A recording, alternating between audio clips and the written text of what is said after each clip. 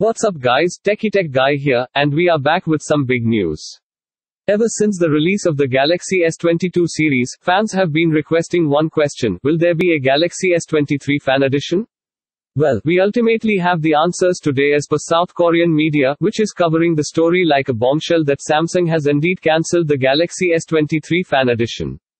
They stated two main reasons for the cancellation. First is the chip shortage as a result of Samsung's recent acquisition of Samsung Electronics, and the second is the Galaxy S22 Ultra's great demand. Does this signal the end of the list of fan editions? No, as per a leaked source, Samsung still intends to produce the S23 fan edition the next year because the supply chain may be more reliable.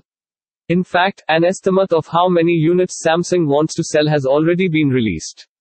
Samsung intends to release 3 million S23 FE units in the S23 series next year.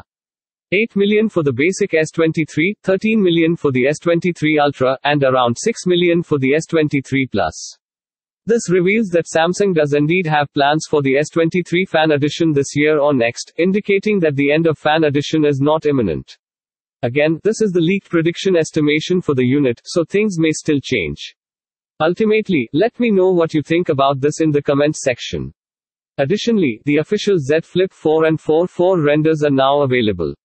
As you can see, there hasn't been much of a design change, which is a good thing given that Samsung is still bringing some significant upgrades, such as a better camera and a cheaper price than they have ever offered for their foldables. In fact, this foldable lineup may have the most compelling features. Last but not least, thanks to Qualcomm finally stepping up its game, the future of Android smartwatches is looking excellent. Finally available are the new Snapdragon W5 Generation 1 and Generation 1 Plus chips. The new Qualcomm W5 processors, which are the first to be constructed on a 4 nanometer process Pentago CPU and thinner for a better design, might significantly improve the performance and battery life of our smartwatches.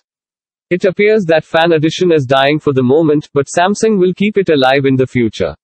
That's all the news for now, so let me know what you think in the comments area below. I'll see you guys later, so don't forget to subscribe to get the latest news on tech and ultra depth tech reviews. Peace out.